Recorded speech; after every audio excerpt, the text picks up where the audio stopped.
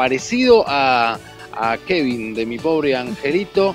Eh, algún medio tituló Mi Pobre Egresadito. Alguien dice por ahí Mi Pobre Lautarito, porque ese es el nombre del el joven que lo dejaron olvidado en el Aeropuerto Internacional de San Carlos de Bailoche. Es tragicómico esto, ¿no? Pero bueno, terminó todo bien. Eh, habrá seguramente denuncias cruzadas, acusaciones y demás. Lo cierto es que el chico estaba con un contingente de una empresa de turismo estudiantil, de Max Dream, eh, dispuestos a volver por vía aérea hasta Buenos Aires, a Aeroparque, de ahí eh, vía terrestre a su lugar de origen, que es Mar del Plata, cuando, bueno, tomó una siesta, porque los días y las noches en Bailoche para los egresados son bastante extensas y agotadoras jornadas. Lautaro tomó la siesta y cuando se despertó no había nadie. Corrió para ver si podía hacer algo y el avión ya se había ido. Así que bueno, al parecer él buscó a alguien allí, algún referente de la empresa en el aeropuerto. Eh, y le dijeron, bueno, no, se fueron, te dejaron, lo trajeron nuevamente al, hotel, al centro para eh, embarcarlo en el próximo vuelo, lo, lo, asistieron y demás, pero para todo esto el avión ya estaba seguramente llegando o camino a Aeroparque. Y lo curioso de esto es que más allá de que Lautaro se dio cuenta, eh, también hay otra serie de controles y de, personas que tendrían que haber eh, reparado en que faltaba un estudiante.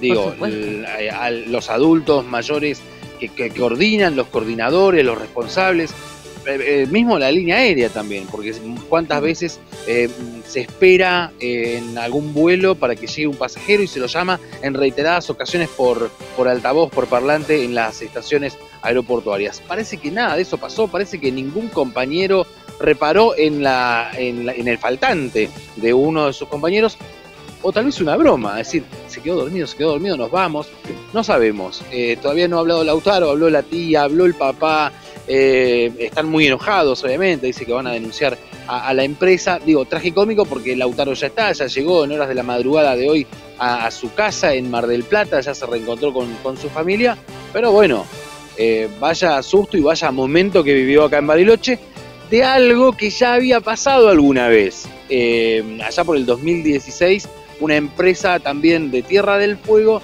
eh, dejó, entre comillas, olvidados, porque estamos hablando de, personas, de seres humanos, de jóvenes, no de, cosas, no de materiales, bueno, se olvidaron de tres estudiantes en el 2016, el micro se fue, las chicas habían quedado dormidas en la habitación y el micro se fue y se dieron cuenta mucho más adelante cuando las chicas empezaron a llamar a todo el mundo a decir, che, se fueron, nos dejaron acá. Eso había pasado en 2016 también con una empresa de turismo estudiantil. Bueno, se repite ahora y el protagonista fue Lautaro y la empresa Max Dream, eh, esta noticia que ha recorrido los portales, los canales, las radios, las redes de todo el país y fueron las mismas redes las que se encargaron de contar esta noticia, porque eh, a través de, Twitter salió la, primera charla que, seguramente ha aparecido en pantalla y de ahí se viralizó de una manera increíble para contar la historia de Lautaro, el egresado olvidado en San Carlos de Bariloche. Mientras estábamos escuchándote, Mati, estábamos compartiendo parte de lo que eran estos chats que comenzaron a viralizarse a través de las redes sociales, algo que también facilitó que rápidamente todo el país se enterara de lo que le pasó a Lautaro con la empresa, repetimos, Max Dream.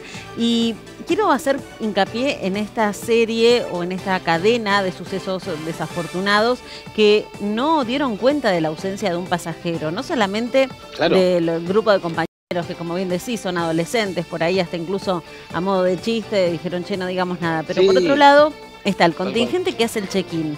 También la línea aérea, que a la hora de subir al avión es, tenés que hacer un montón de pasos, tenés que pasar por que si despachaste un equipaje, ese equipaje no puede viajar solo si no está la persona titular. Son muchas las falencias que se notan que se observan. Eh, totalmente. Eh, por eso decía esto, ¿no? ¿Cuántas veces un avión se ha demorado porque está el equipaje eh, ya despachado, pero no el, dueño o la dueña.